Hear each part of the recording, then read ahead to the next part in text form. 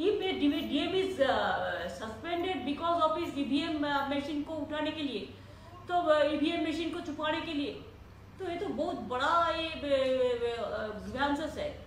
हमको लगता है ऑक्यूलिस को हरा दिया गया है। ये बहुत सारे लूट चला है। लूट भी चला है। ऑक्यूलिस को डिप्रेस नहीं होना चाहिए। अपसेट नहीं होना चाहिए। जनता का पास जाना चाहिए। और इसको चैलेंज करना चाहिए। इलेक्ट्रॉनिक मशीन को जो हम कहते हैं कि फॉरेंसिक टेस्ट होना चाहिए, कि ये वही मशीन है जिसमें लोगों ने वोट दिया और वही मशीन है से दोबारा लेके आया। अखिलेश अगर हारा है, बीजेपी अगर जीता है तो पॉपुलिस्ट पॉपुलिस्ट वोट के लिए नहीं जीता है। पॉपुलर मैंडेट नहीं मिला, लेकिन इसको मशीनरी का मैंडेट मिला।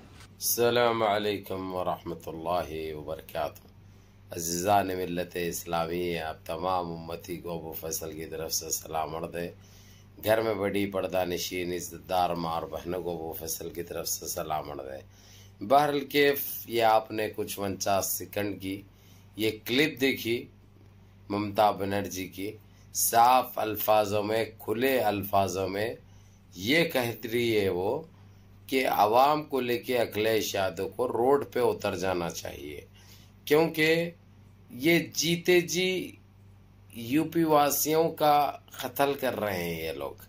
ये लोग इतनी गंदी राजनीति, इतनी बदमाशी, इतना गुंडागर्दी, इतनी चोर, चोरी करे हैं। आप लोग खुद आँखों से भी देखे और हमको पता है, थर्टी टू थाउज़ेंड, बत्तीस हज़ार ऐसे ईवीएम के मशीनों को तब्दील किया गया है, बदली किया गया है। ये हम भी जानते हैं, आप भी जानते हैं और सारे जानते हैं। उसके बावजूद मजीद ये कहूँगा मैं आप लोगों को, जब तक आप लोग खामोश बैठेंगे, ये धंधली, ये चलते रहेगी ना, इसको कोई नहीं रोक सकते। सिर्फ़ आप लोग थोड़ा सा नाराज़ होंगे, थोड़ा सा पुकारा करेंगे, दिल को जला लेंगे और चार दिन के बाद भूल जाएँगे। फिर आप लोगों के, फिर बेटियों की, बच्चियों की, बहनों की इज्जतें लूटी जाएगी फिर आप लोगों को बीफ के नाम पे, मावलिंची के नाम पे, बलात्कारी के नाम पे, महँगाई के नाम पे आप लोगों को मारा भी जाएगा, तोड़ा भी जाएगा। ये सारी चीज़ें चलते रहेंगे। इससे अगरचे बाहर निकल के आना है आप लोगों को। इन चीज़ों से छुटकारा पाना है, अपने बच्चों को अच्छी तालीम देना है, अच्छी तरबियत देना है और बेरोज़गारी ख़त्म करना है, महँगाई को ख़त्म करना है। और अच्छी सरकार चाहिए तो आप लोगों को रोड पे आना पड़ेगा। ये कहना है ममता बनर्जी का। और उसने खुले अल्फाजों में ये भी कह दिए कि अखिलेश यादव, तुमने इलेक्शन भी सही लड़ा और सारी यूपी की आवाम तुमको वोट दी। ये अलग बात है, ये लोग चोरी करे ईवीएम से, ईवीएम को बदली करे, पूरी धंधली करे, ये सारी दुनिया देखी। और जो होना है ओआईसी करेगी यूएनसीसी करेगी इंटरनेशनल कोर्ट करेगा, लेकिन तुम भी ये काम करो कि तुम भी बाहर निकलो, तुम भी आवाम को समझाओ कि क्या हुआ है, तुम लोग वोट देने के बावजूद भी ये लोग ये हरकत करे हैं। और ये करना ज़रूरी भी होगा भाई। जब तक आप लोग बाहर नहीं आएँगे ठीक है, ये अलग बात है कि आप लोगों के साथ इंसाफ हो रहा। आप लोगों के साथ जो जुल्म हुआ, जो ज़्यादती हुई, जो आप लोगों के साथ खेल खेला गया, और ये ईवीएम में चोरी हुए, ईवीएम में बद्दी हुए, ये जीसीसी, ओआईसी और इंटरनेशनल कोर्ट तक भी ये मामला जा रहा है।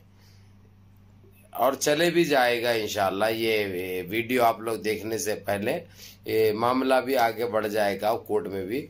और हो सकता आप लोगों को जुमेरात जुमे तक इसकी न्यूज़ भी आ जाएगी। लेकिन मैं आप लोगों को ये बता दूँ, ये कह दूँ कि आप लोग ये बर्दाश्त करते तो करते हैं कैसे? और कब तक आप लोग बर्दाश्त करेंगे? अब आप लोगों के साथ कब तक यह नाइंसाफ़ी होगी? कब तक आप लोग मुँह बंद करके गूँगे और बहरों के वैसा रहेंगे। ना कुछ सुनाई देता, ना कुछ बोल सकते आप लोग, ना कुछ दिखाई देता। कब तक? आप लोगों के सीनों में भी दिल है, आप लोगों के पास भी अरमान है, आपकी भी नस्लें हैं, आप लोगों की भी औलाद है। औलाद को अच्छी तालीम चाहिए, अच्छी पढ़ाई चाहिए। अगरचे ये चीज़ आप आज बर्दाश्त कर रहे तो फिर आने वाला इलेक्शन तो पीएम का होगा। उसमें फिर ये धंधली चलेगी। जो चीज़ आप लोगों को बिल्कुल नहीं चाहिए, वो आपके ऊपर थोपी जाएगी। फिर ये गंदगी होगी। जो करना है, हम इंटरनेशनल कोर्ट के ज़रिए हम वो कर रहे हैं। लेकिन आप लोग भी कुछ करना चाहिए। आप लोग एक मुहिम चलाना चाहिए। हर चीज़ में हम सपोर्ट कर रहे हैं आप लोगों की, साथ दे रहे हैं। तो आप लोग खामोश क्यों हैं? अगरचे आप लोगों के साथ कुछ नाइंसाफ़ी होगी या ज़्यादती होगी तो हम हैं उसके लिए। आप लोगों को सोचने की भी ज़रूरत नहीं है।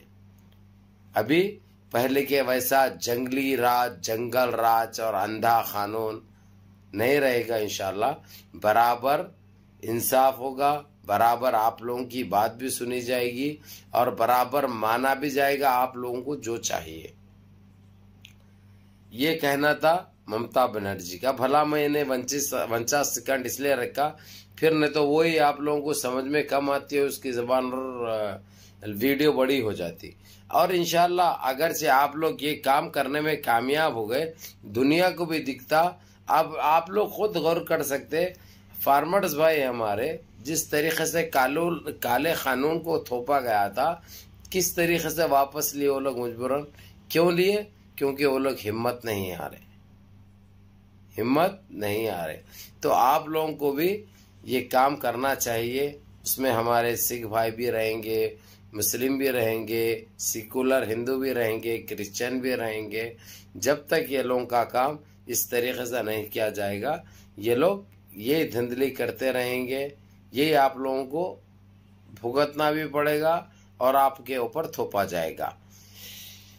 बहर के ये ममता बनर्जी ने तो ये साफ़ अल्फाजों में कह दिया और यहाँ तक कह दिया है कि जब तक आप लोग रोडों पे नहीं आएँगे और अखिलेश यादव को भी खुले अल्फाजों में ये कह दिया है कि तुम बाहर भी निकलो और आवाम को समझाने और बताने की कोशिश करो कि तुम्हारे साथ कैसी नाइंसाफ़ी हुई है।